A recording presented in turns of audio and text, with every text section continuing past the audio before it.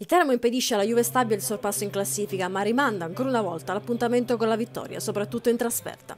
Almenti finisce 1-1 con gol tutti nella ripresa. Paci torna all'antico, fa rientrare Vitturini e Piacentini dopo aver scontato la giornata di squalifica e conferma il 4-2-3-1 con Pinzauti centravanti ed Ilari, Bombaggi e Costa Ferreira alle sue spalle. La Juve Stabia, colpita da un caso di Covid alla vigilia, si affida a Borrelli e Ripe in avanti, con Fantacci libero di muoversi nei pressi. Al terzo Caldore ha una buona occasione in aria, ma spara alto. Dall'altra parte il Teramo gioca complessivamente un buon primo quarto d'ora, salvo poi con il passare dei minuti lasciare possesso alla formazione di Padalino. Al quinto ci prova Arrigoni dalla distanza con tentativo deviato e successiva apprensione nell'area di casa degli sviluppi dell'angolo. Ripa poco dopo tenta la capocciata che finisce alta. Al nono è ancora Arrigoni a provarci da lontano, sulla scia forse del gol decisivo della gara di andata. Al dodicesimo l'azione migliore del Teramo porta anche all'occasione più importante. Ilari serve Bombaggi che con il mancino impegna Russo in allungo.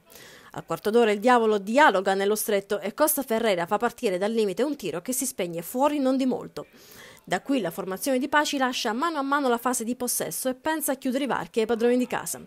Al ventesimo Caldore ispira Borrelli che impegna centralmente Lewandowski. L'attaccante di proprietà del Pescara ha prima di rientrare negli spogliatoi un paio di opportunità, neutralizzate in ogni caso da Lewandowski e annullate anche da posizioni di fuorigioco. Ripresa subito viva. Scacca Barozzi raccoglie un lancio dalla sinistra, si ritrova tutto solo davanti a Lewandowski che è bravo a chiudergli ogni possibilità di tiro. Qualche istante dopo è Bombaggi a provarci dal limite, con palla che termina al lato di pochissimo. La Juve Stabia passa subito dopo. La difesa del Teramo non è perfetta in impostazione. Ripa riconquista palla e Scacca Barozzi stampa il suo tentativo sulla traversa. Borrelli sulla ribattuta raccoglie la sfera e deposita in rete il vantaggio delle Vespe. All'undicesimo però il diavolo pareggia i conti.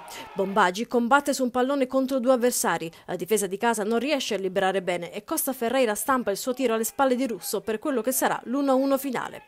Il Teramo dopo il pari si fa preferire rispetto ad una Juve Stabia apparsa mano a mano stanca, poiché anche le prese con nove indisponibili. Al diciannovesimo Esposito sfiora l'autogol per impedire a Pizzauti di arrivare sul pallone. Al venticinquesimo Berardocco risponde ed ispira in mezzo per Borrelli che di un soffio non trova l'impatto con il pallone a centro area. Paci manda in campo Di Francesco e Chieremateng e proprio dal primo parte l'azione che mette Pizzauti nelle condizioni di colpire di testa, non trovando però la porta. Finisce così con un punto per parte ed un Teramo che adesso guarda al ritorno al Bonolis di domenica prossima per ospitare la Paganese.